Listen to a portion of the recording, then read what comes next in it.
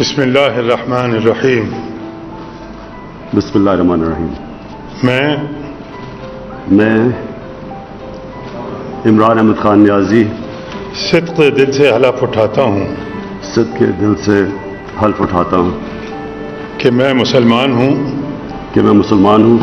اور وحدت اور وحدت و توحید و توحید قادر مطلق اللہ تبارک و تعالی قادر مطلق اللہ تبارک و تعالی کتاب الہیہ کتاب الہیہ جن میں قرآن پاک جن میں قرآن پاک خاطب القتب ہے۔ خاتم الکتب ہے۔ نبوت نبوت حضرت محمد حضرت محمد رسول اللہ صلی اللہ علیہ وسلم رسول اللہ صلی اللہ علیہ وآلہ وسلم بحیثیت خاتم النبیین۔ بحیثیت خاتم خاتم النبیون۔ خات- خاتم نبی نبی الیم جن کے بعد جن کے بعد کوئی کوئی نبی نہیں آ سکتا۔ جن کے بعد کوئی نبی نہیں آ سکتا۔ روز قیامت روز قیادت۔ روز قیامت۔ سوری روز قیامت۔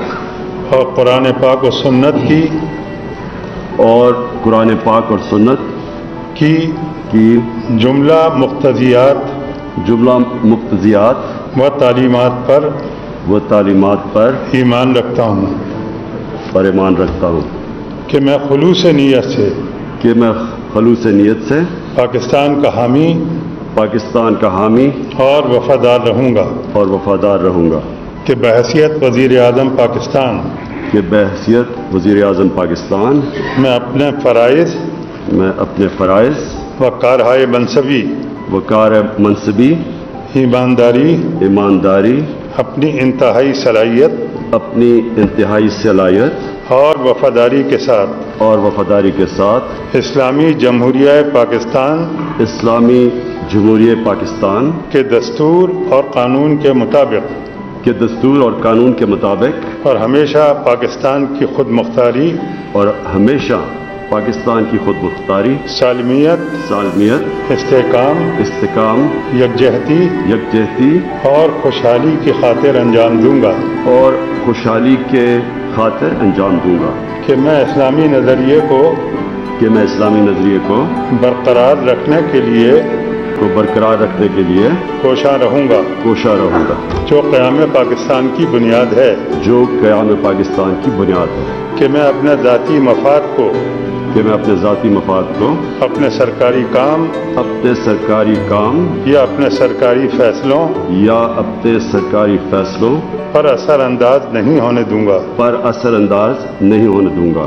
کہ میں اسلامی جمہوریہ پاکستان کے دستور کو کہ میں اسلامی جمہوریہ پاکستان کے دستور کو برقرار رکھوں گا برقرار رکھوں گا اور اس کا تحفظ اور اس کا تحفظ اور دفاع کروں گا اور دفاع کروں گا اور یہ کہ میں ہر حالت میں اور یہ میں کہ اور یہ کہ میں ہر حالت میں ہر قسم کے لوگوں کے ساتھ ہر قسم کے لوگوں کے ساتھ بلا خوف و رعایت بلا خوف و رعایت اور بلا رغبت و عناد اور بلا رغبت و عنایت قانون کے مطابق انصاف کروں گا۔ قانون کے مطابق انصاف کروں گا۔ اور یہ کہ میں کسی شخص کو اور یہ میں کسی شخص کو بلا واسطہ بلا واسطہ یا بال واسطہ یا بالواسطہ کسی ایسے معاملے کی کسی ایسے معاملے کی نہ اطلاع دوں گا نہ اطلاع دوں گا نہ اسے ظاہر کروں گا۔ اور نہ ظاہر کروں گا۔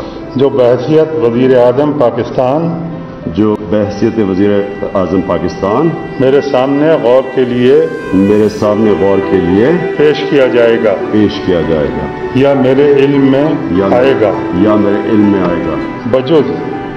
بجرگ جبکہ بحثیت وزیر اعظم جبکہ بحثیت وزیر اعظم اپنے فرائض کی اپنے فرائض کی کما حق ہو کما حق ہو انجام دہی کے لیے انجام دہی کے لیے ایسا کرنا ضروری ہو۔ ایسا کرنا ضروری ہو۔ اللہ تعالیٰ میری مدد اور رہنمائی فرمائے۔